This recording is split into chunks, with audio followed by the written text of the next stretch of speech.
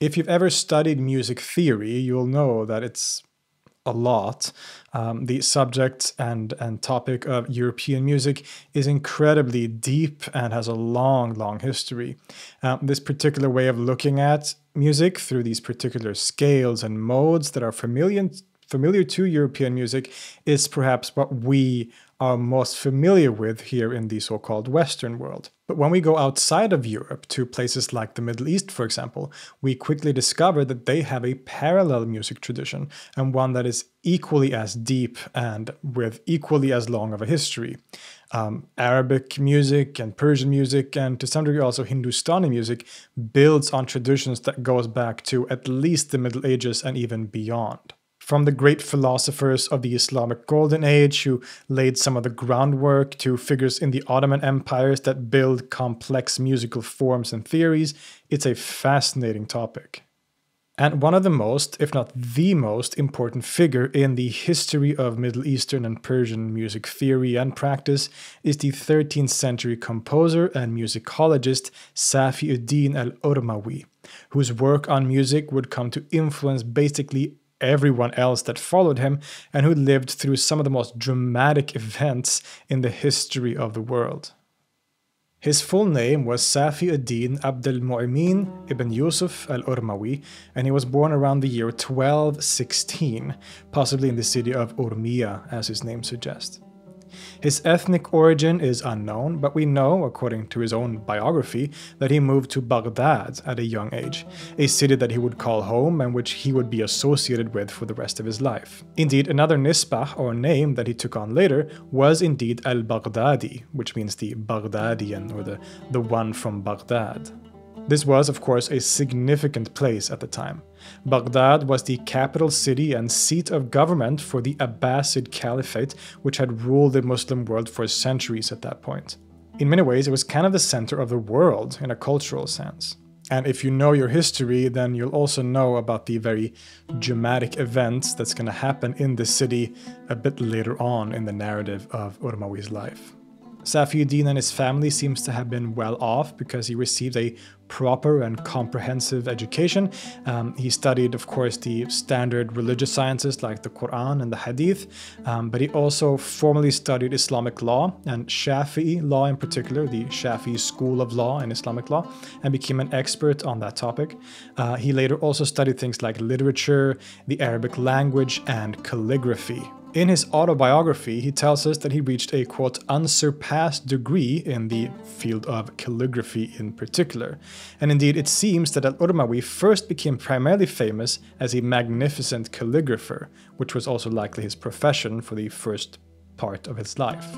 But aside from all these talents, he also had a clear interest in and talent for music. He had started playing and studying the oud, the Arabic lute, and became very proficient at it, although his talent seems to have been unnoticed at first. It wasn't until the Caliph al-Mustasim, the very last of the Abbasid caliphs, ascended to the throne, that Safiuddin's life would change forever. His own account of how this happened is quite fascinating. Quote, There was a female singer in Baghdad known as Lihaz. She was very beautiful and sang well. The caliph loved her and rewarded her richly. He gave her numerous servants, slave girls, and possessions. It happened one day that she sang a nice, unusual tune to him. He asked her about it, and she said, This is by Safiuddin, the calligrapher. The caliph said, Let him come to me. I was brought to him, and I played the lute in his presence. From that moment, Al Urmawi had won the favor of the caliph and joined his court as a celebrated musician. In general, Safiuddin was a boon companion of the ruler and they seem to have been quite close. He was paid handsomely and would act as mediator between the caliph and other people. Having the opportunity to work as an official musician in the court of the caliph probably gave Urmawi the opportunity to practice his art even more, and indeed, Urmawi is remembered as one of the greatest oud players and composers in history. But things were about to take a very dramatic turn because while Urmawi was at the height of his career basically, he also witnessed firsthand one of the most major turning points in the history of the world, namely the invasion of the Mongol armies and the sacking of the city of Baghdad in the year 1258. The great Abbasid Caliphate, which had ruled, at least symbolically, major parts of the Islamic world since the mid 8th century, was crushed in one fell swoop. Urmawi's employer, the last Abbasid caliph, was executed by the Mongols, and the Middle East had changed forever.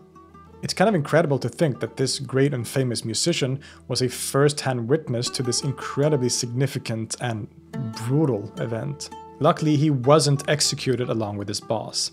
Instead, the fact that he was such a gifted and well liked guy, he managed to charm the new Mongol rulers.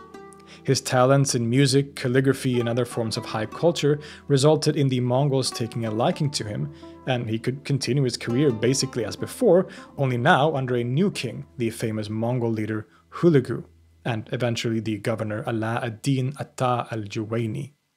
Given what a dramatic event this must have been, you'd expect Urmawi to mention it or talk about it in his own account in his biography, but in fact he barely mentions it.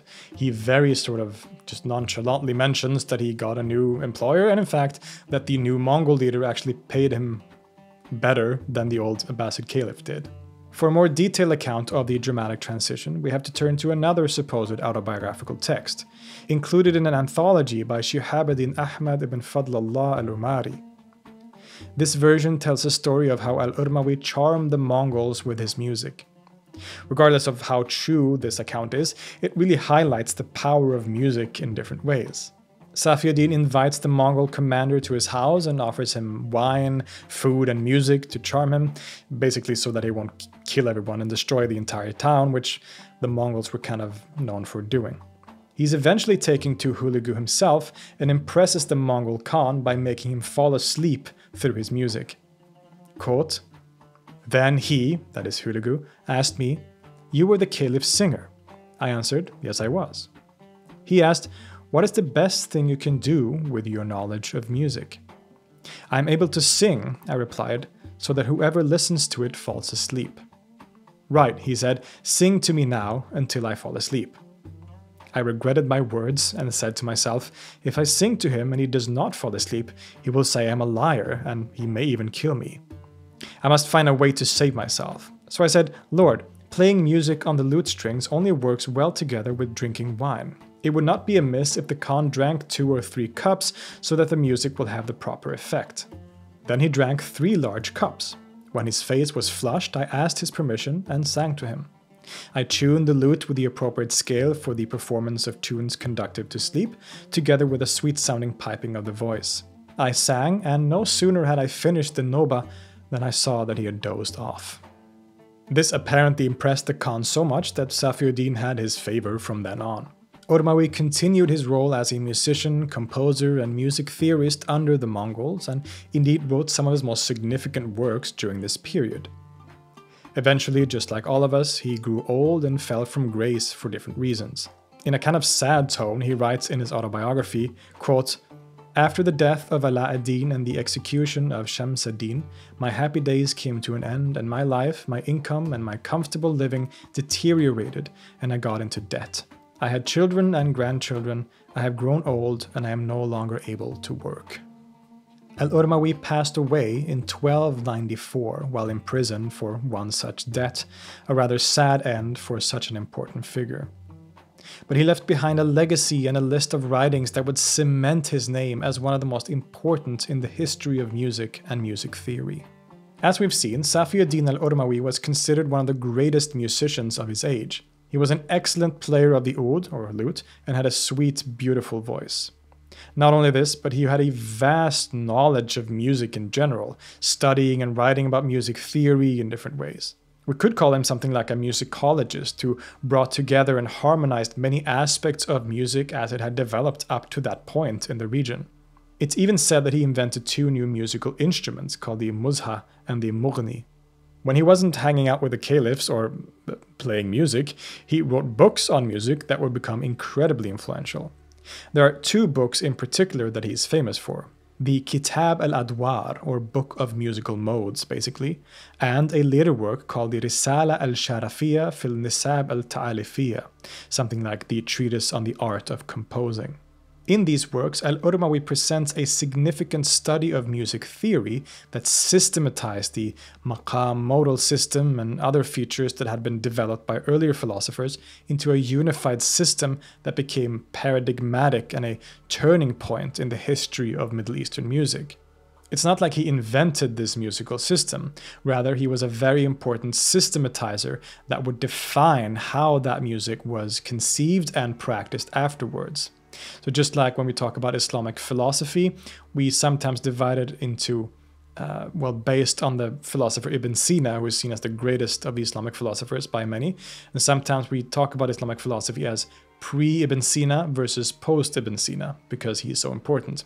And when it comes to Middle Eastern and Persian music, we can kind of talk about Urmawi in the same way, dividing it into a kind of pre Urmawi versus post Urmawi phase because he was such an important turning point, um, and, and he defined how that whole musical tradition would play out after his influence. Arabic and Persian music already had a long history at this point, and Al Urmawi inherited a tradition that stretched back for centuries. Middle Eastern music is based on a system of modes called maqam or maqamat in plural. Maqams are a complex thing that are significantly different from the Western concept of scales, or even Western modes for that matter. Maqams are a certain collection of notes, just like a scale is, but also recurring phrases, associations with particular modes or circumstances in which they are relevant, and so on. And while they weren't necessarily called maqams from the beginning, the maqam system as we know it, at least in its earliest phases, dates back to the very earliest years of the Islamic civilization. In fact, the earliest writer on music and music theory from the Islamic world was the famous philosopher Al Kindi. Already by this point, he writes about instruments like the oud, its tuning and construction, and the intervals of the different scales and modes that were used at the time. Slightly later, we also have thinkers like Al Farabi, who wrote a seminal work on music called Kitab al Musiqa al Kabir, the Great Book of Music, which covered very broadly the world of music from practical and theoretical standpoints and was very influential, including on figures like Urmawi. Even Ibn Sina or Avicenna, perhaps the greatest of the Islamic philosophers, writes extensively about music in works like Ash-Shifa. And the Ikhwan as-Safa, the Brethren of Purity, dedicated one of their 50 epistles to music in particular. These philosophers and musicians, of course, in turn based their ideas on earlier traditions, in particular the writings on music from ancient Greece and, of course, from ancient Persia. All these philosophers wrote about music from various different standpoints, not just the practical aspects of instruments, scales, and rhythm, but also more quote unquote philosophical aspects, such as how music relates to the universe as a whole and the divine order. Influenced, for example, by Pythagorean ideas, they discuss the music of the planetary spheres, how music reflects the elements of nature and the angelic and divine worlds. Although some of these figures, such as Ibn Sina, often rejected many of these cosmological aspects of music, this was still, for many others, an important aspect of the study of music, which was connected to many other sciences and, and aspects of philosophy like mathematics and, and much else. It was sort of integrated as a very important aspect of higher education, basically. So this is the president that Safiuddin al-Urmawi works from. Everything that he writes in his books had been covered, at least to some degree, by earlier figures and philosophers too. The different maqams and modes had been written about to some degree in works like the Great Book of Music by al-Farabi and in works by Ibn Sina. What makes Safiuddin al-Urmawi so significant is that he took all of these earlier developments and traditions and systematized them in a way that had never been done before, and through that he laid the foundation, a solid foundation upon which all future music would be based. The scholar and musicologist Amnon Shiloah writes about Urmawi, quote, an eminent theorist as well as musician, he achieved a systematization of the general scale and the whole modal system that was probably in practical use long before his time. In the Kitab al-Adwar and in the Risalat al-Sharafiyya, Urmawi provides an important summary of music in the region as it stood at the time. He describes instruments, how they are constructed and played. For example, Urmawi's oud has five strings rather than four, which was the norm in earlier centuries, and this was an important factor in making that number the standard for much of history later on. He also very significantly divides the octave into 17 intervals and describes and systematizes the maqams or scales slash modes that can be constructed using those intervals. If you know your music theory, you'll know that our Western octave includes 12 notes, so Urmawi's system has 5 more. This is because his system, and Middle Eastern music in general, includes what is known as quarter tones, notes that are in between the half steps of Western music. In fact, while the 17 step octave would become very influential, it would be extended even more later on with as much as 24 steps or 24 intervals per octave in, in other regions and places later on in history. As we saw from the fascinating story about Urmawi and the Mongol leader too, uh, modes or, or maqams were often and still are, uh, especially back then, were often associated with certain emotions or that it had a certain effects. Uh, one maqam could be very good for making you fall asleep. Another maqam could make you laugh. Another one would make you cry. And so different maqams were played and used in different circumstances. They were only appropriate for certain uh, situations, in certain environments, or with a specific purpose in mind. This also brings us to another topic, which is the medical use of music, which was a, a large topic for many of these philosophers, including Urmawi, of course.